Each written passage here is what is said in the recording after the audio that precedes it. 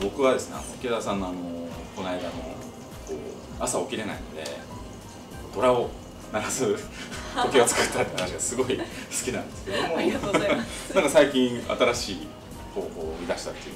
ああそうなんですよ。ちょっとあのコーヒーをあの自動で入れてくれる、あのアラームをあの買いまして買いました。これは作ったんじゃないですか？買いあました。ーはいはいはいはい。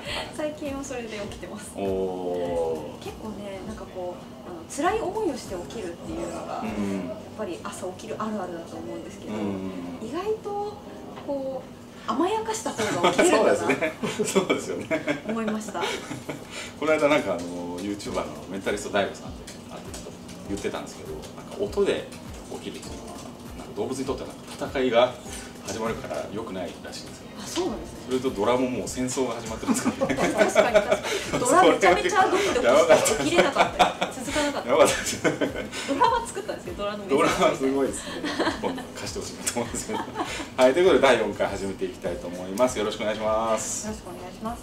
はいということで、えー第4回の、えーゲストを紹介したいと思います。先週に引き続き、えー、ゆかい工学株式会社の社長兼エンジニアの青木さんですどうも。よろしくお願いします。よろしくお願いしまよろしくお願いします。先週はすいませんでした。あっという間に終わってしまって 超大学生までしか。すみません。変な変なエピソード混ぜてみました いやいや面白かったです。青木さんの経歴振り振り返るとすごいんですよすごすぎて2時間特番にしないと。いやいやいやプログラミング始めたのが、はいはい。えっと中学2年生の頃。まあ触り始めたのがそうですね。で仕事で始めたのがなので大学1年大学生の時。1年生の時、はい。そしてそこで猪子さんと出会ってチームラボを設立されて、はい。こう自宅の仕事とかあとは、はい。あのインターネットの検索エンジン。検索エンジン、うん。サグールというのを開を作られていて、たはい。でそこからあの心機一転はい。中国の大学にそうです入ね学されて、はい。それってその国から選んだんですか？この国に行きたいとかそういう。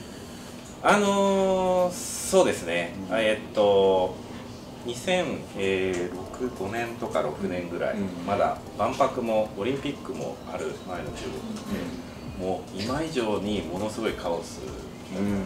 中国のどこですか地域は、僕は上海に行ってました、うん。はい、当時結構あの日本から上海にあの進出する企業が多くてですね、でやっぱりあの そうですね。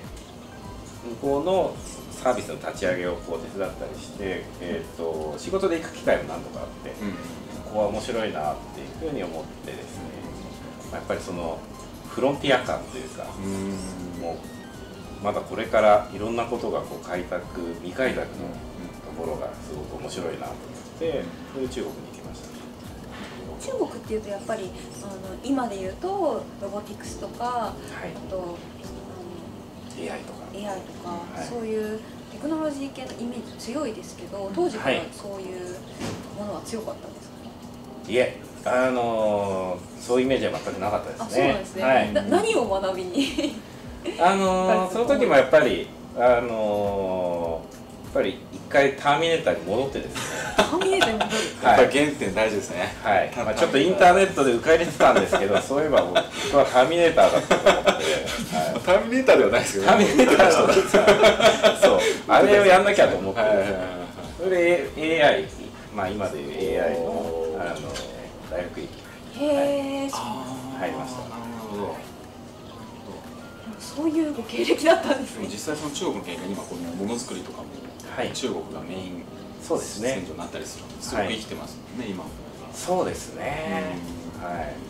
まあそこまで考えてなかったですけどね connecting dots みたいな感じでコネクティングドッツです繋がっていきますねはいうんであのその上海の大学をで卒業されてからはい企業あのーそうですねえっと在学中に、あの向こうの大学院僕がいた時はですね、あのまだあのいい加減なと言ったらあれですけれども、まあ、だ大体1年目で授業が終わって2年目はみんなインターンに行くんですよ、うんで僕僕何しようと思った時に、ちょうどなんか未踏っていうあー。IPA のプログラム 強いエンジニアが。そうそう強いエンジニアがお金もらうやつ国から。はい。そのお金目当てで、うんあの水戸に応募してですね、で運よくですね、あのあれってソフトウェアじゃないですか、はいイメージそういうの強いですね、